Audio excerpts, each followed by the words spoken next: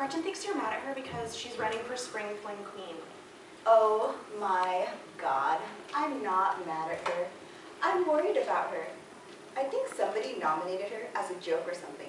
And when nobody votes for her, she's gonna have a total meltdown. And who's gonna have to take care of her? Me. So you don't think anyone's gonna vote for her?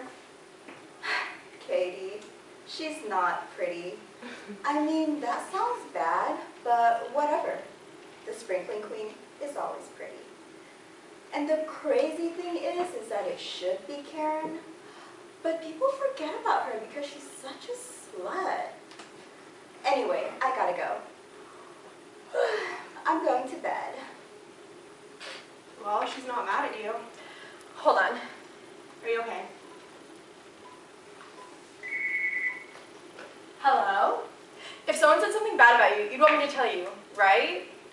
Mm, no. Well, what if someone loves your friend? What do you... Hold on, other line. I'm not taking this anymore. Good for you, Gretch. Hello? Let's go out. Okay, hold on. I'm on the other line with Gretchen. Don't invite Gretchen. She's driving me nuts. Okay, hold on. Regina. She wants to hang out with me tonight, but she told me not to tell you. Do not hang out with her. Why? Well, you don't want me to tell you. You can tell me. Hold on. Oh my god, she is so annoying. Who is? Who's this? Gretchen? Right, hold on. Oh my god, she is so annoying. I know, just get rid of her. Okay, hold on. What is it?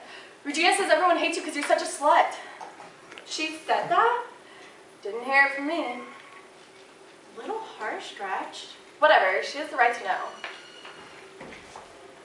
Um, I can't go out tonight. I'm